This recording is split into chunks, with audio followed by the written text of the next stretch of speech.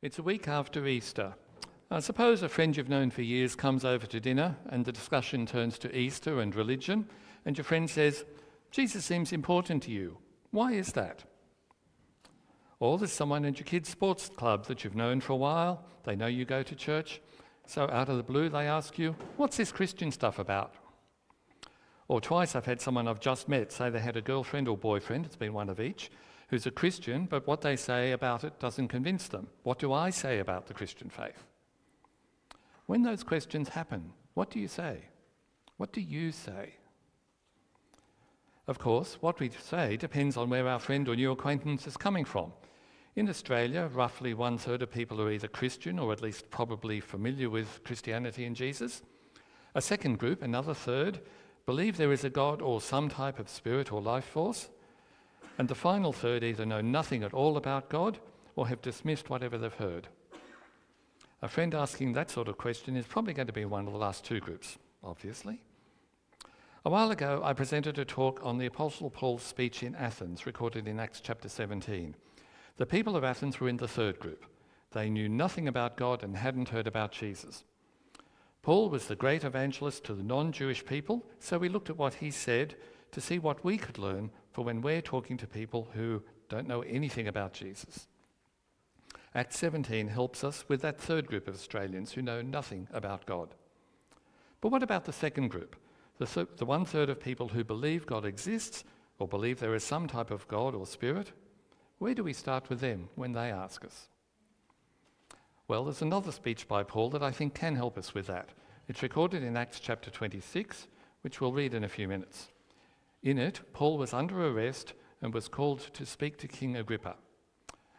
The passage at first reading seems pretty straightforward, but there's quite a bit of background information that will help us to better understand what's going on in it. So settle in now for some background. The thing that always stood out to me is this Who is King Agrippa? Why is there a king? Acts 26 is in the time of the Roman Empire. It's ruled by the emperor, who has the title of Caesar. Here it's Emperor Nero. How can there be a king? And by the way, Agrippa is a Roman name used by the royal family. Why is there a king Agrippa? Well, it all becomes much clearer when I tell you Agrippa's full name. He was Herod Agrippa II. He's a Herod.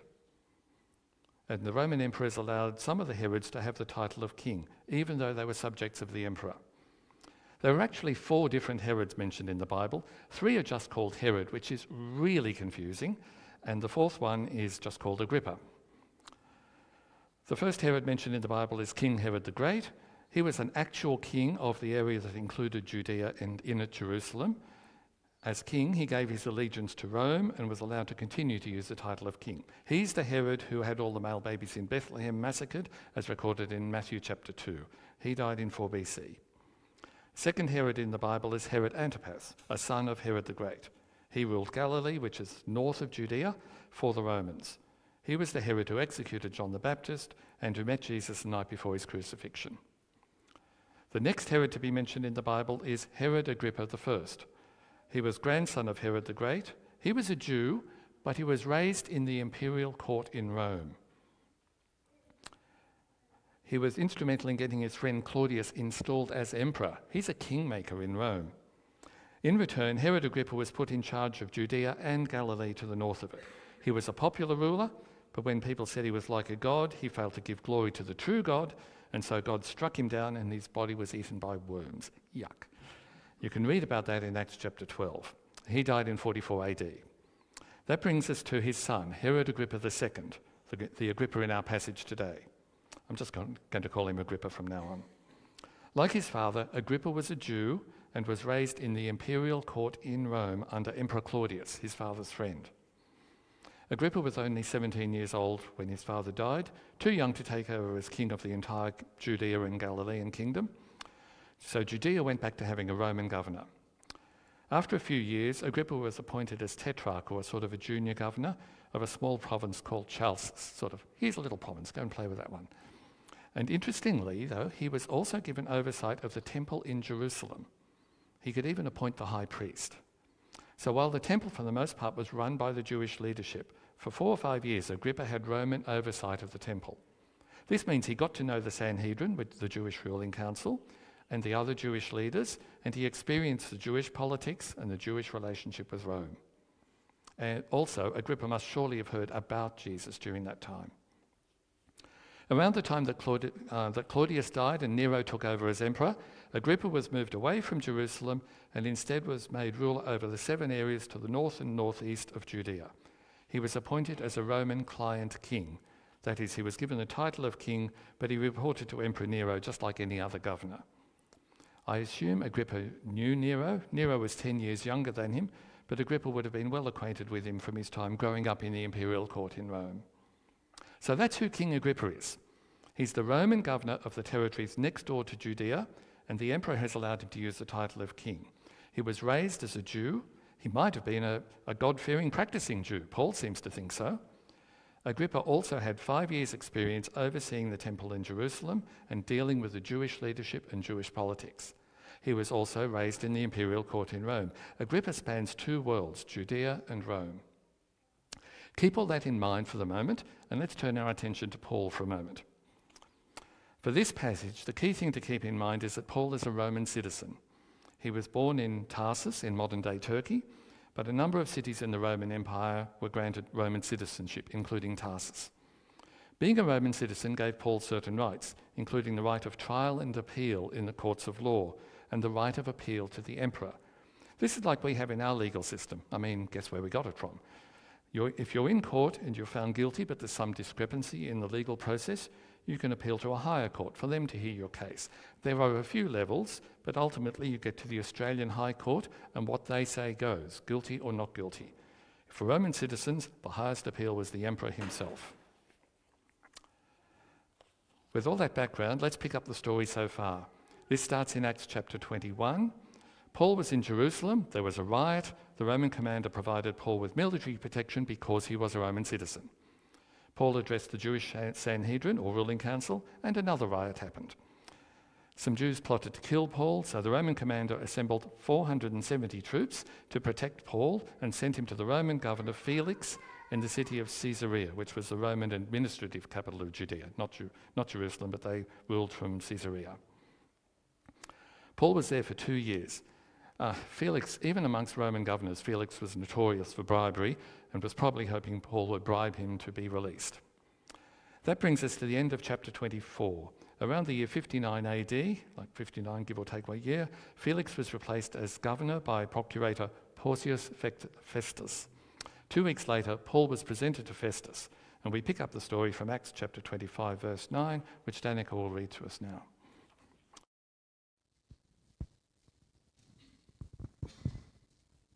Good morning. So today I'll be reading Acts chapter 25, verse 9 to chapter 26, verse 32. But Festus, wanting to do the Jews a favor, replied to Paul, Are you willing to go up to Jerusalem to be tried before me where there on these charges? Paul replied, I am standing at Caesar's tribunal, where I ought to be tried. I have done no wrong to the Jews, as even you know yourself very well. It, if then I did anything wrong and am deserving of death, I am not trying to escape death. But if there is nothing to what these men accuse me of, no one can give me up to them. I appeal to Caesar. Then, after Festus, Festus conferred with his council, he replied, You have appealed to Caesar, to Caesar you will go. King Agrippa and Bernice visit Festus. Several days later, King Agrippa and Bernice arrived in Caesarea and paid a courtesy call to, on Festus. Since they were standing staying there several days, Festus presented Paul's case to the king, saying, There is a man who was left as a prisoner by Felix. When I was in Jerusalem, the chief priests and the elders of the Jews presented their case and asked that he be condemned. I answered them that it is not the Roman custom to give someone up before the accused faces the accusers and has an opportunity for a defense against the charges. So then, so when they had assembled there, I did not delay. The next day, I took my seat at the tribunal and ordered the men to be brought in. The accusers stood up, but brought no charge against him of the evils I was expecting. Instead, they had some disagreements with him about their own religion and about a certain Jesus, a dead man Paul claimed to be alive. Since I was at, at a loss in, the, in a dispute over such things, I asked him if he wanted to go to Jerusalem and be tried there regarding these matters. But when Paul appealed to be held for trial by the emperor, I ordered him to be kept in custody until I could send him to Caesar. Agrippa said to Festus, I would like to hear the man myself. Tomorrow you will hear him, he replied. Paul before Agrippa. So the next day, Agrippa and Bernice came with great pomp and entered the auditorium with the military commanders and prominent men of the city. When Festus gave the command, Paul was brought in. Then Festus said, King Agrippa and all the men present with us, you see this man. The whole Jewish community has appealed to me concerning him, both in Jerusalem and here, shouting that he should not live any longer. I found that he had not done anything deserving of death. um, uh, but when he himself appealed to the emperor, I decided to send him. I have nothing definite to write to my lord about him. Therefore, I have brought him before all of you, and especially before you, King Agrippa, so that after this examination is over, I may have something to write. For it seems unreasonable to me to send a prisoner without indicating the charges against him. Paul's defense before Agrippa. Agrippa said to Paul, You have permission to speak for yourself. Then Paul stretched out his hand and began his defense. I consider myself fortunate that it is before you, King Agrippa. I am to make my defense today against all the accusations of the Jews, especially since you are very knowledgeable about all the Jewish customs and controversies. Therefore, I beg you to listen to me patiently. All the Jews may know my way of life from my youth which was spent from the beginning among my people and in Jerusalem. They have known me for a long time. If they are willing to testify that according to the strictest sect of our religion, I lived as a Pharisee. And now I stand on trial because of the hope in what God promised to our ancestors. The promise our 12 tribes hope to reach as they earnestly serve him day and night. King Agrippa, I am being accused by the Jews because of this hope. Why do any of you consider it incredible that God raises the dead? In fact, I myself was convinced that it was necessary to do many things in oppo- opposition to the name of Jesus of Nazareth. I actually did this in Jerusalem, and I locked up many of the saints in prison, since I had received authority from that from the chief priests. When they were put to death, I was in agreement against them in all the synagogues, I often punished them and tried to make them blaspheme. Since I was terribly enraged at them, I pursued them even in foreign cities. Paul's account of his conversation and commission. I was traveling to Damascus under these circumstances with authority and a commission from the chief priests. King Agrippa, while on the road at midday, I saw a light from the heaven brighter than the sun shining around me and those traveling with me. We all fell to the ground, and I heard a voice speak to me in Aramaic Saul, Saul, why are you persecuting me? Is it hard for you to kick against the goads? I asked, Who are you, Lord? And the Lord replied, I am Jesus, the one you are persecuting. But get up and stand on your feet, for I have appeared to you for this purpose, to appoint you as a servant and a witness of what you have seen and will see of me I will rescue you from your people and from the Gentiles.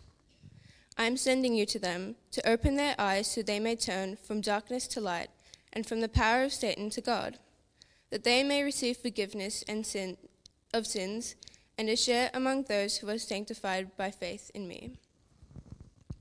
So when King Agrippa, so then King Agrippa, I was not disobedient to the heavenly vision. Instead, I preached to those in Damascus first and to those in Jerusalem and in all the region of Judea, and to the Gentiles, that they should repent and turn to God, and do the works worthy of repentance.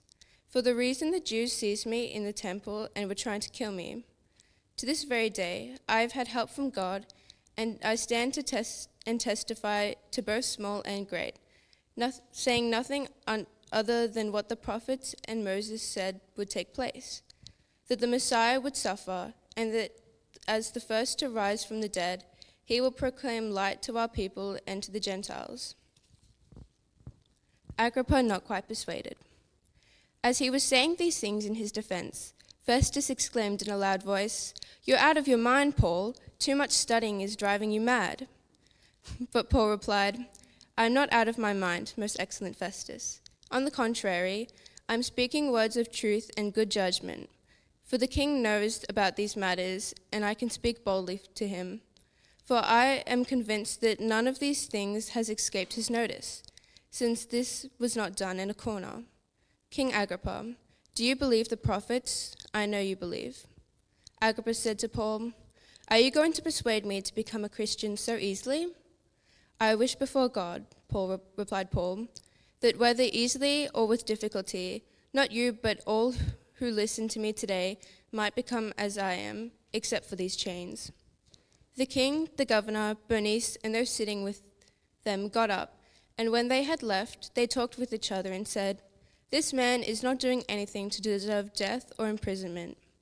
Agrippa said to Festus, This man could have been released if he had not appealed to Caesar. Thanks, Danica. I put her through that, didn't I? Selecting that passage. but thank you. That was good. This passage is an eyewitness account by Luke. As most of you know, Luke wrote the gospel that bears his name, and he wrote the sequel that is the book of Acts. But partway through Acts, Luke joins Paul and travels with him. So Luke was present at the meeting in our passage. You can tell that by the way he describes it. Two private discussions between Agrippa and Festus are also recorded. Uh, I presume someone in their entourage supplied that information to Luke. This is eyewitness history. It took place around the year 59 AD. Festus had just started as governor of Judea, and we know he took over that role around 59 AD. In chapter 25, Paul was presented to Festus. We read, uh, we read that Festus wanted to do the Jewish leaders a favour, I guess to make a positive start with them, and asked Paul if he would be willing to stand trial before Festus, but in Jerusalem instead of Caesarea, where he already was. Some Jews were planning to ambush and murder Paul along the way to Jerusalem, so Paul couldn't agree to that. And to avoid Festus sending him to Jerusalem, as a last resort, Paul appealed for his case to be heard by the emperor, which was his right as a Roman citizen. He protect, this protected him by Roman law. Neither Festus nor the Jews could harm Paul now. And Festus now had no choice. He had to send Paul to Emperor Nero in Rome. But Festus now has a problem. He's new in Judea. He doesn't know the Jewish religion, the Jewish leadership, or the Jewish politics. He doesn't understand what Paul has been charged with. It's Jewish stuff and it makes no sense under Roman law. He has to send Paul to Rome, but he can't send him to the emperor without any explanation of what Paul's been charged with. That would be, what, no, that would be what's today known as a CLM, a career limiting move. Uh, Festus needs to write an explanation to Emperor Nero saying what Paul has been charged with, but he hasn't the foggiest clue what to write. Festus has a problem. Enter Agrippa. 25 verse 13, Agrippa arrives in Caesarea to pay a courtesy diplomatic visit to Festus. This is just a routine visit to welcome the new governor of the province next door to Agrippa's domain. It's the same as if you have a new next door neighbour. You pop in and introduce yourself to welcome them, don't you? That's what Agrippa is doing. Incidentally, if you're wondering about Bernice, she was Agrippa's sister, and the two of them went everywhere together. They came as a package deal. Agrippa's visit may be routine, but Agrippa is the answer to Festus's problem with Paul. Agrippa is a Jew. He understands the Jewish religion, so he can work out what Paul is accused of. He's overseen the temple for five years, so he knows the Jewish leaders and the Jewish politics that led to Paul's arrest. But Agrippa was also raised in the imperial court in Rome, probably knows Emperor Nero, certainly knows how the imperial court works. Agrippa is the perfect person to advise Festus what to write to the emperor about Paul when he sends him there. As Festus says from chapter 25, verse 25. When Paul appealed to the emperor, I decided to send him. Actually, he had no choice. I have nothing definite to write to my Lord about him. Therefore, I have brought him before all of you, and especially before you, King Agrippa, so that after this examination is over, I may have something to write. For it seems to me unreasonable to send a prisoner without indicating the charges against him. You can say that again. To give that advice, Agrippa has to hear from Paul to find out what he's accused of. So that's what happens. Notice, and this is important and it's often misunderstood, Paul is not on trial here. His only trial will be before Emperor Nero in Rome. This meeting is just that a meeting, an interview. Of course, what Paul says will have a bearing on what is written to Nero about him, so it's important to Paul that he establishes his innocence to Agrippa. On the other hand, Agrippa just wants to find out the situation with Paul so he can advise Festus what to write to Nero when he sends Paul to him. So he gives Paul freedom to say whatever he likes.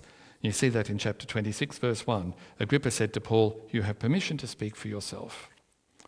Paul now has an audience of two Roman governors, one known to the emperor himself, plus all the other people in the room. But he speaks particularly to Agrippa because, as he says in verse 3, Agrippa is very knowledgeable about all the Jewish customs and controversies. So, what does Paul say to someone who knows about God but doesn't know Jesus? Agrippa is a Jew. He knows the scriptures, our Old Testament. In particular, he knows the prophets, and they are the ones who foretold the coming Messiah or Christ. Agrippa doubtless heard about Jesus in his five years overseeing the temple, but he doesn't know Jesus for himself. We don't know if he had heard that people claimed Jesus was the Messiah, but if he had heard that, he wasn't convinced yet. As we go through, keep in mind why we're looking at this passage. What does Paul, the great evangelist, say about Jesus to someone who knows about God, has maybe heard about Jesus, but isn't a Christian? And what can we learn from Paul when we're answering a friend who knows about God or some spirit, has maybe heard about Jesus, but isn't a Christian? And if you're someone who hasn't yet committed your life to Jesus, I'm, I'm guessing you've at least heard about Jesus or you wouldn't be here. Just take in and think about what Paul says to Agrippa, who was in a sort of similar situation to you. So let's look at what Paul says. Paul starts by establishing common ground with Agrippa. In verses 4 and 5, he outlines his life as a Pharisee, the strict and predominant sect of Judaism. Agrippa would be familiar with this. As, and in verse 8, Agrippa would know the Pharisees believed in the resurrection of the dead, so that claim would be unremarkable to him. Common ground. Next, Paul links his message to what Agrippa knows. He links the charges against him with fundamental Jewish beliefs. In verse 6, I stand on trial because of the hope in what God promised to our ancestors, the promise our 12 tribes hope to reach. Paul establishes a direct connection between the promises in the scriptures, our Old Testament, and what the Jewish leaders were accusing him of. Paul asserts that his message is a consequence and fulfillment of what the Old Testament established. Paul then presents his personal testimony, to put it in modern terms. Firstly, in verse 9 to 12, he outlines his life as a faithful, zealous Pharisee, particularly his role in persecuting the early Christians. In verses 12 to 18, Paul describes how Jesus miraculously appeared to him. In verse 13, he emphasizes that he's telling this to Agrippa in particular. Paul is describing his personal experience of Jesus. Perhaps Agrippa could disagree or agree on theology or points of law, but Agrippa cannot deny the reality of Paul's personal experience. Moreover, Paul's testimony isn't about some random itinerant teacher wandering Judea. Rather, it's a miraculous and supernatural revelation by a resurrected Messiah. Those are unequivocal credentials that Jesus is the promised Messiah or Christ. Jesus appointed Paul as the apostle to the Gentiles, the non Jews, people like us. Verses 17 and 18 Jesus said to him, I am sending you to them to open their eyes so that they may turn from darkness to light and from the power of Satan to God, that they may receive forgiveness of sins and a share among those who are sanctified by faith in Jesus. This commission is crystal clear, and it's what so angered the Jewish leaders. They liked to believe that salvation was unique to the Jews, the physical descendants of Abraham. To them, it was almost blasphemous to say salvation could be given to non Jews. Also, having salvation offered to people everywhere would undermine the power and prestige that Jew- the Jewish leadership enjoyed. These things were the basis of the Jewish attacks on Paul, and the miraculous revelation by Jesus undermines their charges. Paul is relying on Agrippa's knowledge of the scriptures to see that what Jesus has commissioned him to do is, in fact, consistent with the Old Testament scriptures, and therefore Paul was in the right and his accusers were wrong. In his letters, Paul explains how the Old Testament shows God's purpose in establishing the Jews as his own people was for the message of salvation to go out from the Jews to the whole world. For example, you can read about that in Romans chapter 9. Agrippa will have recognized that Paul is claiming Jesus to be the Messiah. The promises in verse 18 to open eyes and turn from darkness to light, they are directly Old Testament prophecies of the Messiah. To wrap up his testimony, verses 19 to 20, Paul states that he was simply obedient to what Jesus demanded of him. Paul's testimony is one thing, but now he goes on to relate it to the common ground that he's established with Agrippa verses 22 and 23, Paul comes to the core of his speech. In those verses, he said, To this very day I have had help from God, and I stand and testify to both small and great, saying nothing other than what the prophets and Moses said would take place that the Messiah would suffer, and that, as the first to rise from the dead, he would proclaim light to our people and to the Gentiles. Paul started by establishing common ground with Agrippa's knowledge of Judaism, and linking his message with the scriptures that Agrippa knew. Now, in these verses, he builds on this common ground to convince Agrippa of the truth of what he's saying. Firstly, God has helped him. He is not fighting against God. Rather, God is supporting Paul. If you believe in God, as Agrippa does, this is important authentication for Paul's message. Secondly, Paul specifically calls on the Old Testament prophets, who were the ones who foretold the coming of the Messiah. He's relying on Agrippa knowing the scriptures very well. There were plenty of passages in Isaiah and some of the minor prophets that clearly look forward to the coming Messiah, as all Jews knew. But only some of those passages present the Messiah as a suffering servant, and only a few talk about uh, the Messiah taking salvation to the Jews and Gentiles alike. The passages are there, but most Jews skipped around them and looked for a triumphant military Messiah who would end the Roman occupation of Judea. Paul is relying on Agrippa having a deep knowledge of the scriptures. And why not? Agrippa is a lifelong Jew who has even overseen the Jerusalem temple. And he also had the best education available in the Roman Empire at the imperial court. It's not unreasonable for Paul to call on deep scripture knowledge by Agrippa, to recognize that the Messiah would come as a suffering servant as Jesus did. In short, Paul is relating his message to the scriptures that Agrippa knows. And from those scriptures, Paul reasons that Jesus offers salvation not just to the Jews, but also to Gentiles like us, the very thing that so infuriated the Jewish leadership. But at this point, Paul has gone beyond what Festus can make sense of. I mean, he probably did that right from the start, who knows? The outburst by Festus in verse 24 is rather undiplomatic, seeing Paul is talking mainly to Agrippa. Nevertheless, Paul responds courteously to Festus, firstly out of respect to his position, but secondly, and more importantly, to avoid getting sidetracked. Verses 26 and 27 are what today we might call an altar call, an invitation to Agrippa to accept Jesus as the Messiah and therefore as his personal Saviour. He said, For the king knows about these matters, and I can speak boldly to him. For I am convinced that none of these things have escaped his notice, since this was not done in a corner. King Agrippa, do you believe the prophets? I know you believe. Paul knows that Agrippa knows the Old Testament scriptures, and seeing Agrippa spent five years overseeing the temple in Jerusalem, surely he heard about Jesus during that time. The claims about Jesus can't have escaped his notice. The message about Jesus was not hidden away in some corner.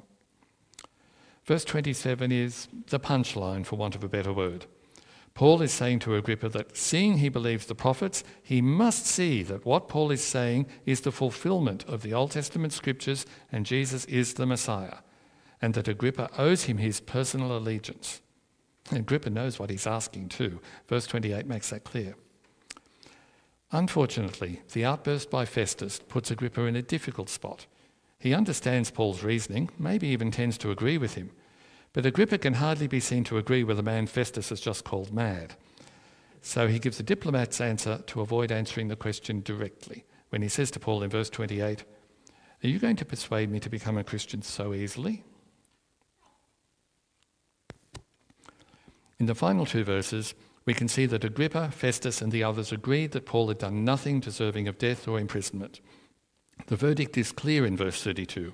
Agrippa said to Festus, This man could have been released if he had not appealed to Caesar. Incidentally, I wonder if there's more than just a verdict here. On one hand, this could be gentle criticism of Festus by Agrippa. Because if Festus hadn't cornered Paul by trying to take him to Jerusalem, Paul wouldn't have appealed to Caesar and he could have gone free. Effectively, Agrippa might be saying Festus forced Paul into chains.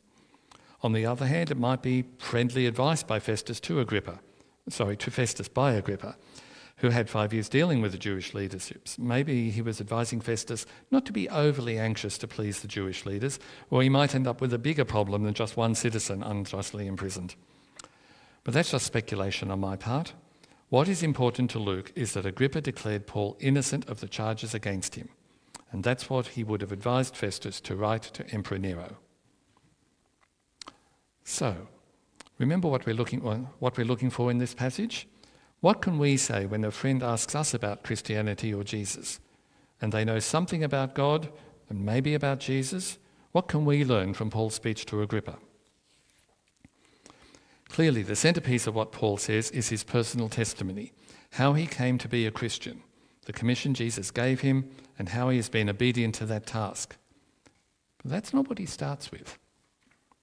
Paul's first step was to establish common ground. What do we know about what the other person believes? We might already know that if the person has been a friend for some time. Otherwise, we might need to ask questions to work it out. Do they know about the God of the Bible or some other God who maybe sounds similar but is actually quite different? Do they know about Jesus? What do they know about him? For that matter, do they trust what's in the Bible? For example, Paul knew Agrippa trusted our Old Testament and knew the prophecies about Jesus. After all that, what do we both agree on? What is our common ground? That's our starting point, or so Paul's example would suggest. Paul's next step was to link his gospel message to that common ground. So we can talk in general terms about how the gospel relates to whatever our common ground is with our friend. That may be more than one conversation, it may be over weeks or months, that together with our friend we can build that common ground into more of a foundation for the gospel. Only then does Paul present his personal testimony to Agrippa. Maybe we can do likewise. Paul's testimony, Paul's testimony itself lines up with the usual pattern life, bef- life before Jesus, what made him a Christian, how his life changes as a result, and living in obedience to what uh, Jesus called him to. Uh, same for us. Importantly, Paul's testimony was about his personal experience, and I think so should ours be. People can argue about facts and interpretations, but they can't disagree to our face about our personal experience. Our society sees personal experience as truth. Our friend can't disagree with our personal experience or Jesus at work in our lives or what it's like to have the Holy Spirit living within us. If it applies to you, maybe describe your life before Jesus and the difference in your life now, just as Paul did. Paul also included the resurrection of Jesus. Yes, it's supernatural, but Jesus coming back to life authenticated to Agrippa that Jesus wasn't just some random wandering teacher. No, it proves Jesus comes with the power of God. Just the same, we shouldn't shy away from the supernatural. Hmm, many people today are actually quite receptive to the supernatural. Jesus coming back to life is supernatural, but it is also vital to our witness. Jesus is alive and knowable right now. His resurrection is key. The hope Jesus offers that we can tell people about is the hope of resurrection. There is more than just this life on earth, and eternity is available to them. People want to live forever. We're wired that way ever since we were made. Jesus is how it can happen for them. And explaining people that Jesus came, explaining to people that Jesus came back to life authenticates him as the one who had power over death and can give us eternal life. It authenticates him as the Son of God and our Saviour. But a testimony will only explain to our friend why Jesus is important to us. We need to help them understand why he's important to them too. I think that'll be very different for each friend. But basically, basically, Paul relates his testimony to the common ground he established with Agrippa. That's probably a good pattern for us too. By relating our testimony to the common ground we've established together with our friend, they may see why Jesus is so important, not only to us, but also to them. And finally, at an appropriate time, we should ask them if they are ready to commit their life, their eternity to Jesus. I think Paul rushes that in our passage, but he only had one meeting, one speech. Even so, he didn't leave the question unasked, hoping Agrippa would maybe meet some other Christian sometime who would finally convince him. No, Paul took the only opportunity he would have to put the question to Agrippa Would he turn to Jesus?